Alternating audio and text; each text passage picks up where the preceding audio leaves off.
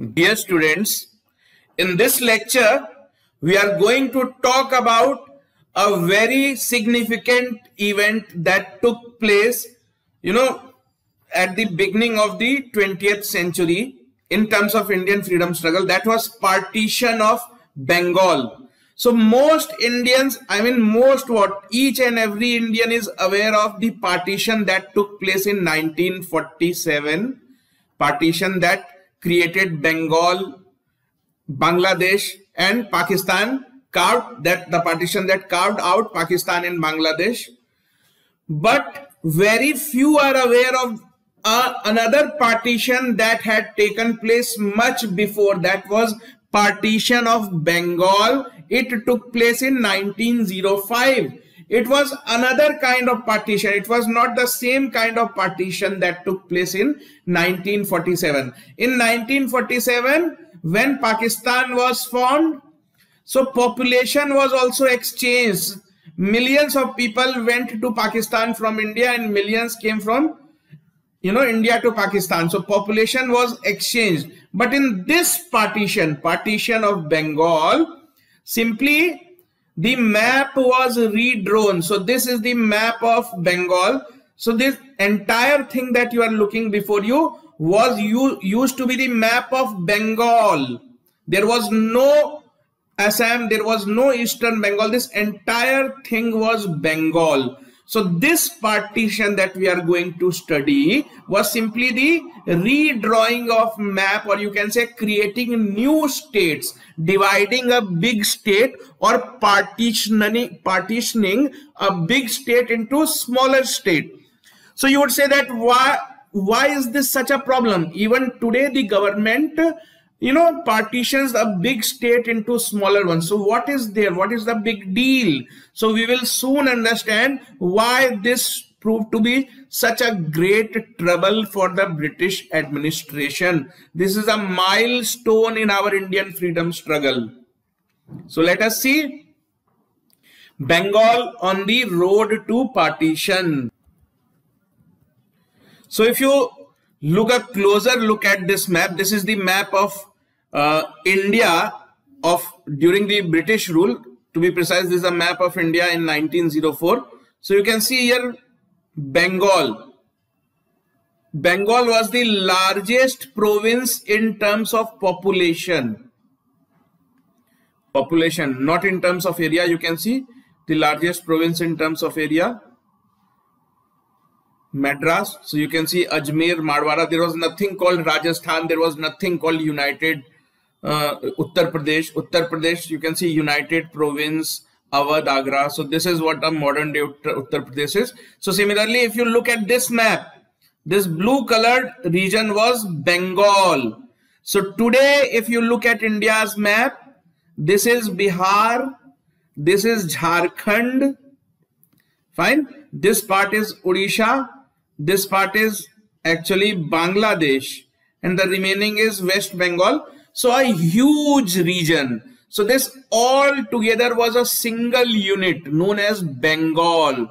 There was no Odisha, there was no Bihar, there was no Jharkhand, there was no Bangladesh. All this together were a single unit known as Bengal.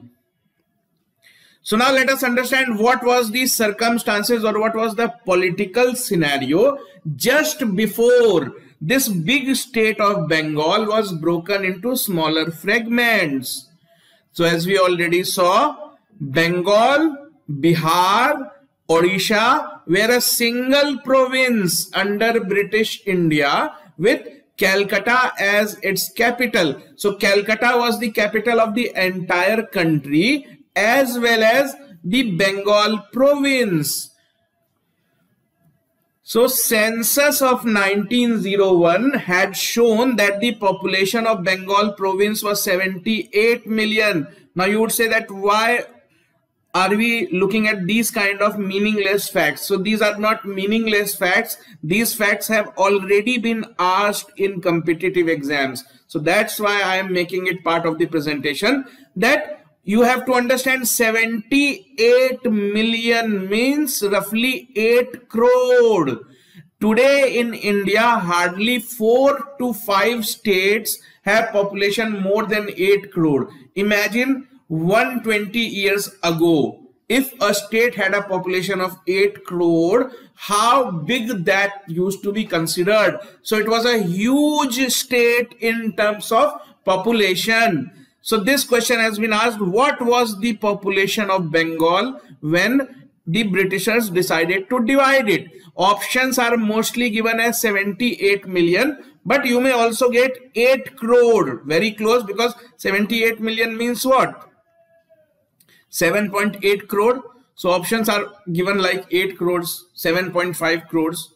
So that was the purpose of dividing it. So because of this huge population, the Britishers used to say that it is getting difficult for us to govern. Look at this big state. It is a single state. Has a, sing, you know, if if there is a um, big state, it will have single agricultural minister, it will have single defense minister. So it becomes difficult not to govern such a big state.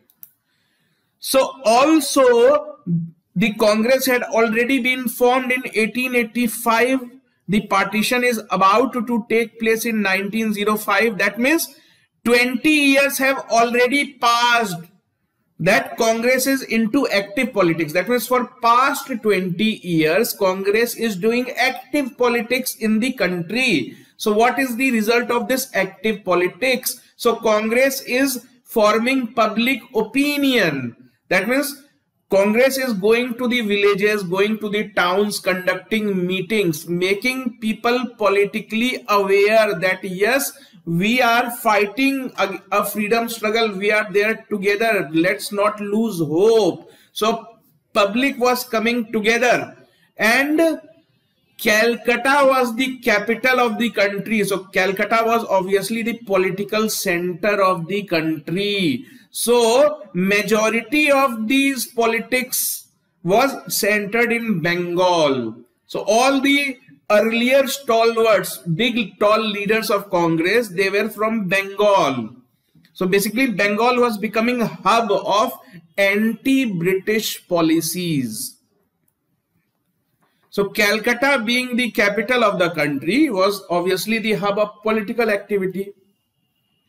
The other region was if you understand the uh, you know population or demographics of bengal at that time so it was almost uh, that hindus and muslims were equal in number. Hindus and muslims were equal in number. Elsewhere this combination was not seen in our entire country. For example if you go to places like punjab muslim population was less or if you go to places like uh, during those times like uh, Madhya Pradesh or Bombay. So Muslims were in minority, but in Bengal, Hindus and Muslims were almost equal in number, population wise. So this uh, region, region of Bengal, gave the concept of Hindu Muslim university, so Hindu Muslim unity. So Hindu Muslim unity was very active. The feeling of Hindu Muslim un, uh, union or being the same. Because in bengal even even the bengal of today there is not much communal politics. They don't think in terms of hindu muslim. They are not concerned with somebody else's religion. So this region of bengal was creating a threat. It was becoming the epicenter of hindu muslim joint resistance. People were coming together irrespective of their religion. So this was also a big of a problem so Britishers thought that if we attack Bengal, if we succeed in creating problem in Bengal, it will automatically create problem between Hindus and Muslims in the entire country because this is a good example of Hindu-Muslim unity. So let's break the unity here. So if we succeed in breaking the unity here, the unity will get broken in the entire country.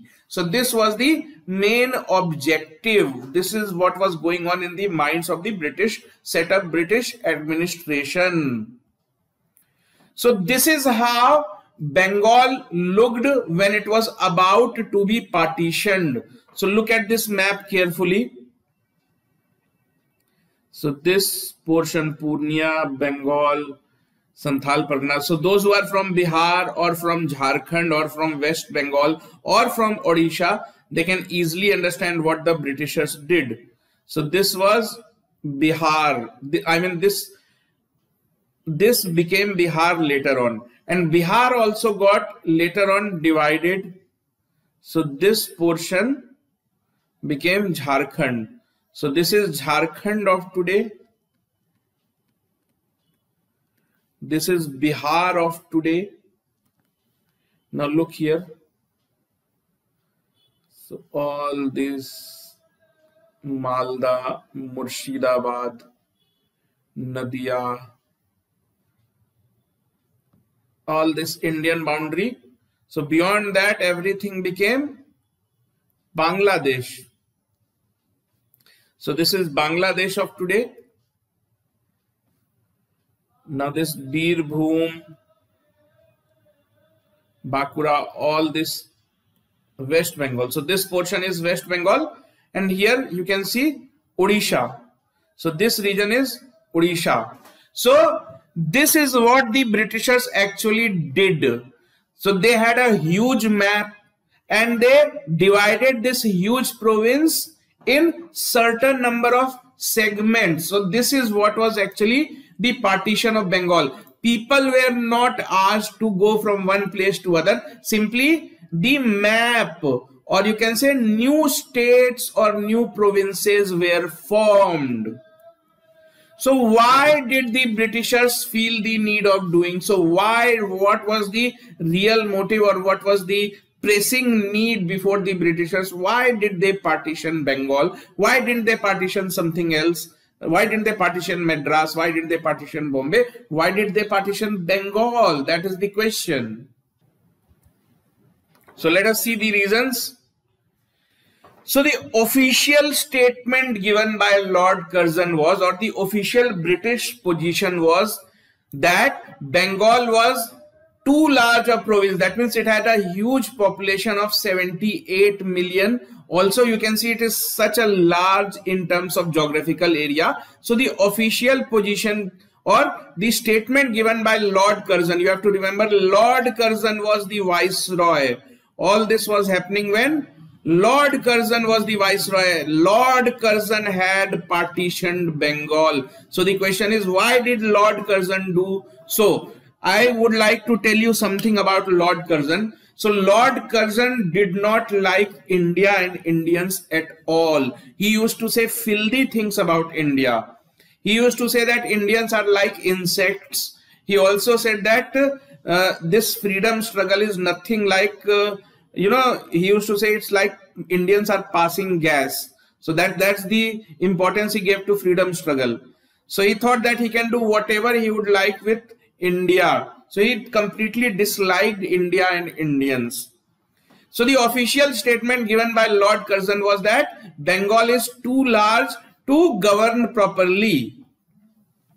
But the real agenda as we already discussed was to attack the nerve center of Hindu-Muslim uni unity because already during revolt of 1857 and many such revolts have taken place in bengal in which hindus and muslims have come together to oppose british rule. So there were many revolts. There was a revolt known as sannyasi revolt.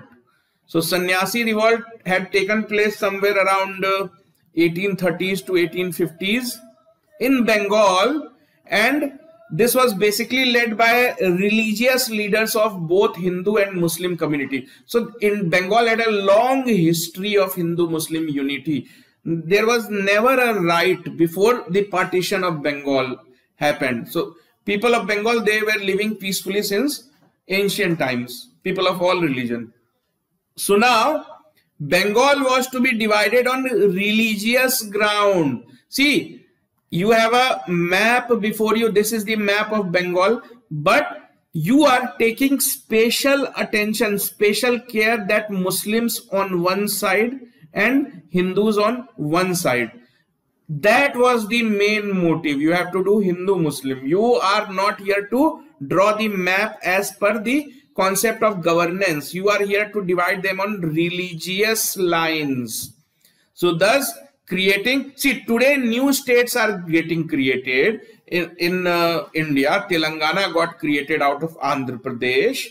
Even uh, Jharkhand got created out of Bihar. But this was not done based on religion that Hindus on one side, Muslims on one side. But partition of Bengal was basically done for this purpose only that Hindu population on one side and Muslim population on the other side so that their unity is broken and they become competitive. See, if you try to distribute something between two people, then these two people will want to have more. So if you are distributing something and two contenders are there, so these two contenders naturally become competitors. They start competing. Their friendship is affected. So now Bengal is the resource and this resource is getting divided between two communities. So these two communities will want to have more, more resources on their side and hence they will begin fighting. So this is the concept of divide and rule. If you try to divide two people who are receiving, they will say give me more, give me more and they will start fighting. So by dividing, see this entire Bengal, if we go back to our map, so if you look at the map of Bengal carefully before partition, so in these areas, these areas, people were speaking Bengali, this area. This area, people were speaking Hindi. Hindi. Here, people were speaking Bengali. And here, people were speaking Odia language. So what they basically did, this area of Bengal, this was politically active. This was politically active. So the main purpose was to divide this, this region, region of Bengali speaking people.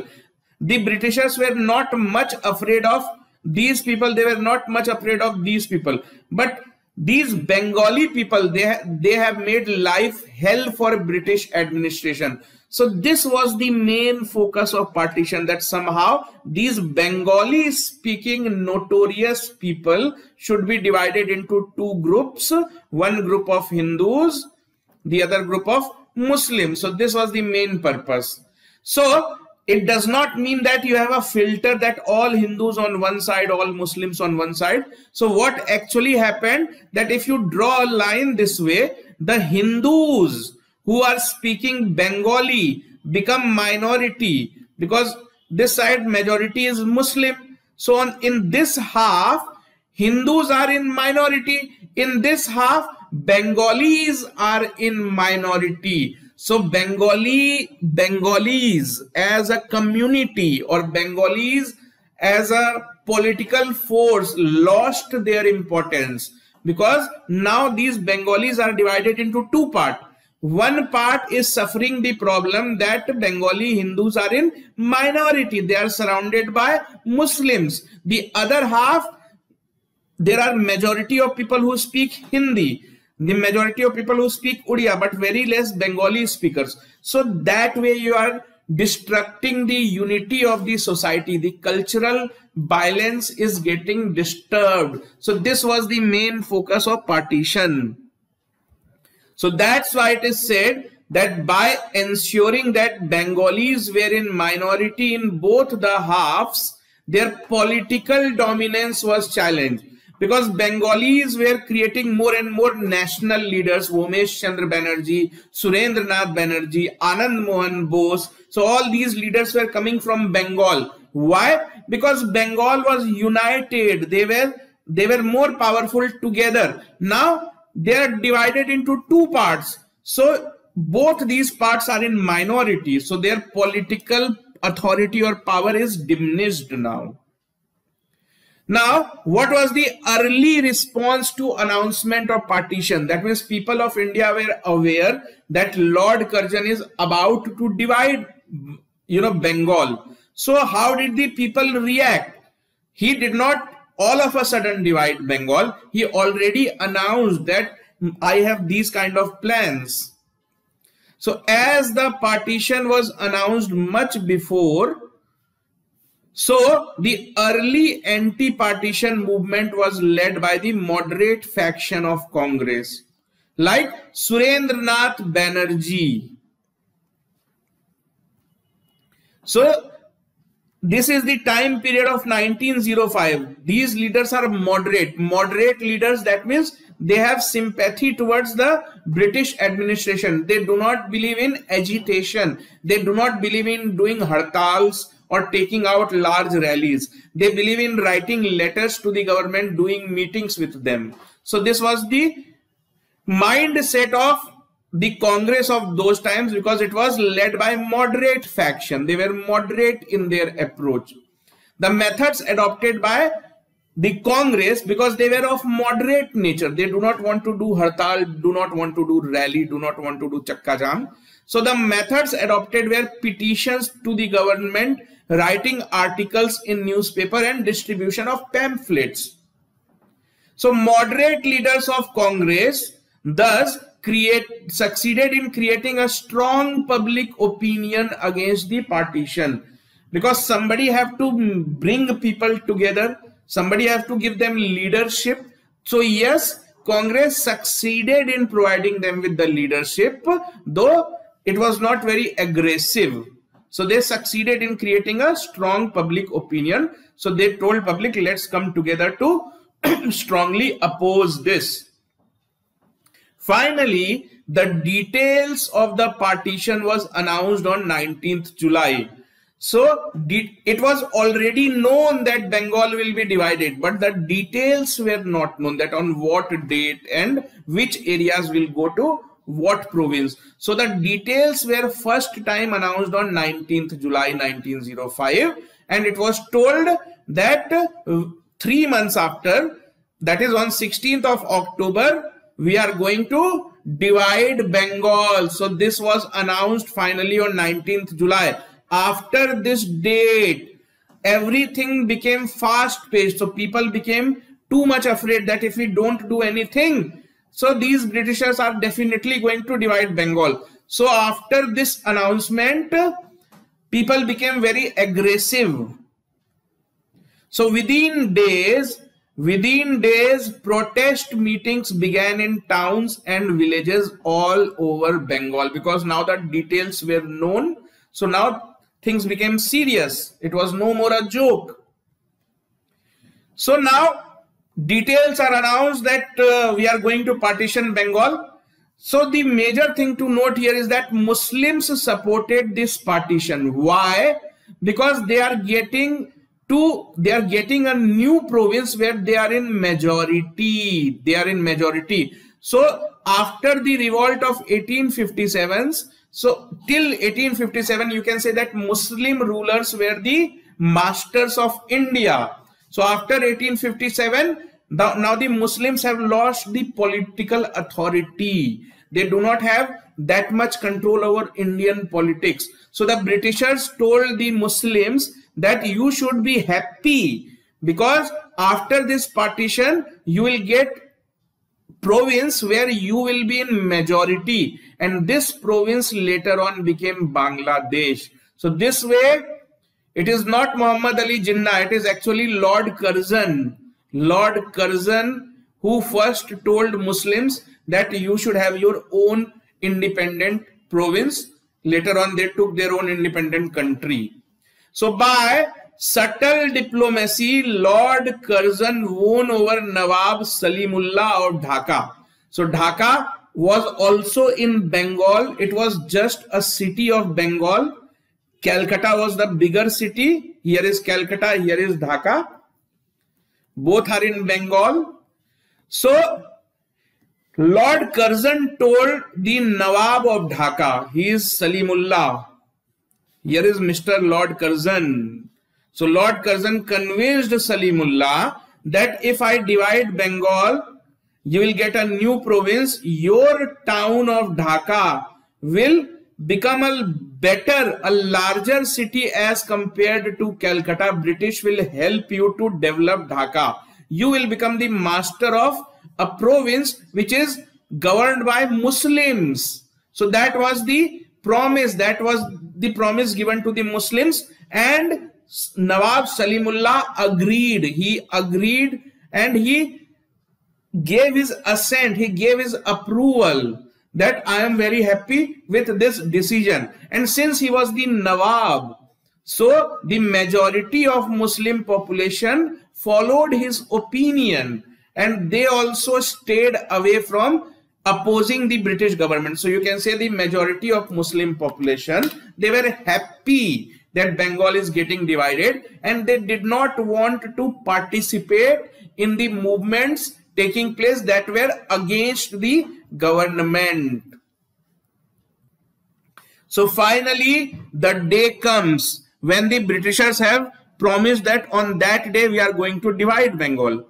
So British partitioned the province of Bengal on 16th of October 1905 very very important date of Indian history Indian freedom struggle that date was 16th of October the decision was taken by obviously Lord Curzon who was the viceroy of India so what was this decision? What was this division?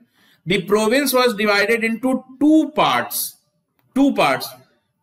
So one part was named Bengal. Earlier also it was Bengal. So now also it was called Bengal. For example, this was Bihar. Bihar. When Bihar got divided, a new region was formed known as Jharkhand. But earlier region was still called Bihar. Similarly, bigger Bihar, Bihar, bigger Bengal, now one part smaller Bengal. So the capital of that part is Calcutta. So this Bengal comprised of modern day West Bengal, Bihar, Odisha. So what happened? West Bengal, they all speak Bengali. Bihar, they speak Hindi. Odisha, they speak Odia. So in this part, Bengali speaking people, Bengali speaking population became a minority because majority is of non-Bengalis, Bihar and Odisha. The second part was known as East Bengal and Assam. East Bengal and Assam. So as Nawab Salimullah was promised, Dhaka was made the capital of East Bengal and the third unit was Assam. So third unit. So this unit was also clubbed together with East Bengal. So this region was a Muslim majority area and Bengali Hindus were in minority. So this was the main purpose to somehow bring Bengali Hindus who are leading the political struggle in minority take power, snatch power from them, make them minority so that they cannot win elections. They cannot uh, create public opinion. So this is how Bengal looked after the partition. So this is Eastern Bengal and Assam. This, this was known as Bengal, this part. And this pink color you are seeing, it was not controlled by Britishers these were controlled by local kings and these were known as princely states. That means British only collected taxes but they did not have a full government setup. They did not have district magistrates, civil servants working here because this was not their job. These were princely states. So two parts you can see clearly red and green So now the partition has actually happened. So now how will the public react? So with the partition of Bengal, the Swadeshi movement gained strength. Now people said since you have already partitioned Bengal, you did not listen to our voice. So now we will do something to uh, to crumble the government, to make government bow down before us. So they start something called as Swadeshi movement. Swadeshi means use, use goods made in India. So this was the first make in India campaign you can say. Use only those goods that are made in India. That means do not use anything that is produced by the Britishers. So now partition has happened. So slowly, gradually, public have to react. Public reaction have started. So just before the partition was to take place, because the partition has taken place on 16th October, so two months before that, that is on August 7th on 1905, because the plans were announced on 19th July, plans were announced on 19th July that on 16th October we are going to participate. So in midway, that is on 7th of August, people gathered in Calcutta town hall in large number. And who was leading? the Maharaja of Kasim Bajar, who was a Hindu. So Maharaja of Kasim Bajar was the leader. He had called that meeting and huge number of people have attended that meeting. And in that meeting, partition of Bengal was called a great national calamity. So now people have started to come together to oppose. First such attempt is on 7th August where is this attempt made? Calcutta Town Hall. Who is the leader? Maharaja of Kashim Bajar. So in this meeting, a formal proclamation was made. So now you have decided that you have to oppose the government. So to oppose the government, you have to come up with a movement, something.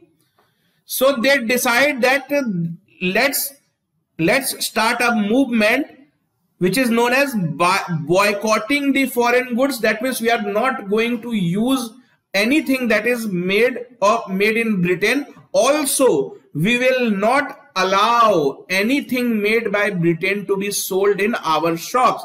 We are going to completely boycott. If we will see that any shop is selling anything made by British, we will boycott that shop also. So these kind of plans were made to boycott and if you are boycotting british goods then you have to use your own indian good if you say that i am not going to use british cloth i am not going to use british toothpaste then what is the option? There must be some indian made goods available. So two things. Boycott british good and as a result promote the use of indian goods. So all these you know plans were made in this meeting, meeting of 7th August 1905 and this day is the official day when the Swadeshi movement began.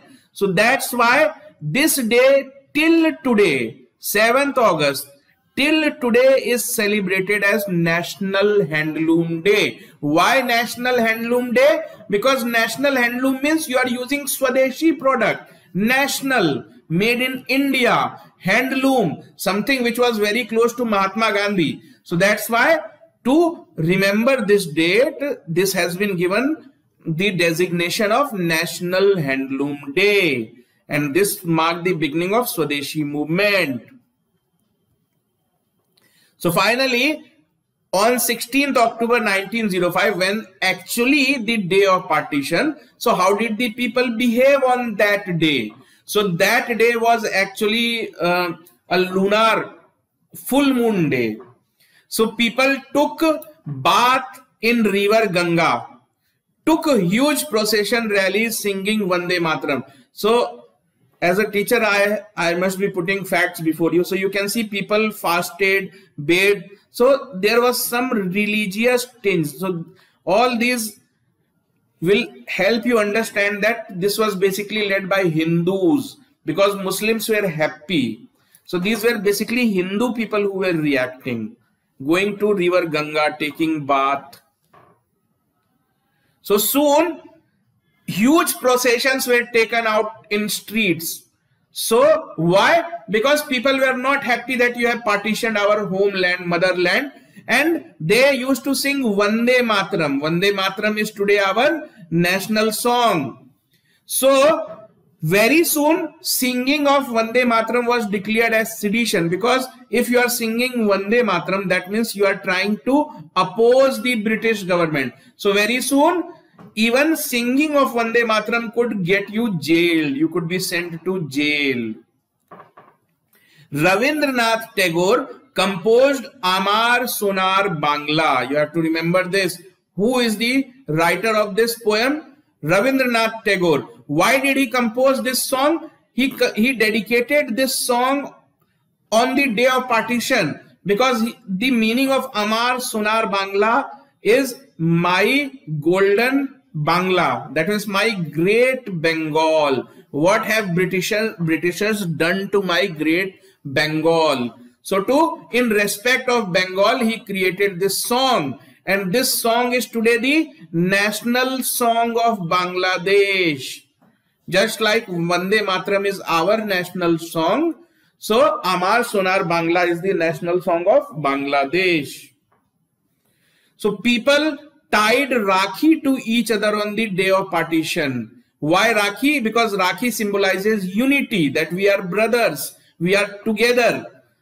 Rakhi. So people tied Rakhi. Surendranath Banerjee and Anand Mohan Bose gave speeches and collected rupees 50,000 within 4 hours. So you can understand the amount of public support. Within 4 hours, people donated 50,000 rupees. 50,000 rupees of those times would certainly be 50 lakh rupees of today. So within 4 hours.